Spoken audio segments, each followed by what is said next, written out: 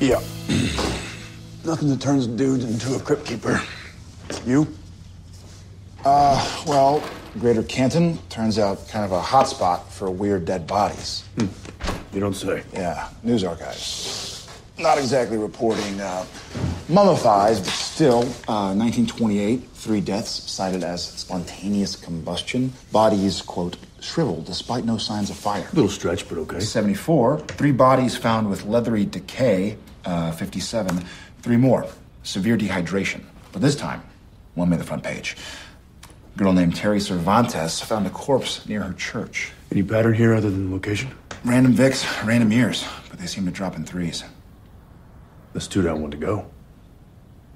All right, let me drive for a second. You gonna look at more anime, or are you strictly into dick now?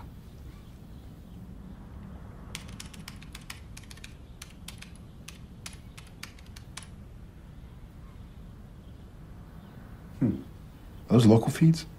Yeah. How did you do that so fast? Little tutorial from Frank. Don't worry. Pretend this never happened. Now, uh, mummy numero dos was uh, found Gas-N-Sip near Main Street, correct? Yeah. All right, well, here's all the cameras around that store. Need to teach me that trick. Hey, check it out. Timberlake. Wait a sec. Can't let me bask in the glory for one second, can you? Shut up. Look.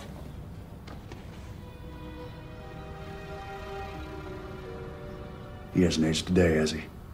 All right, well, if he's been popping up for decades now, then somebody's bound to know who he is, right? Is there any chance that uh, Terry's still local?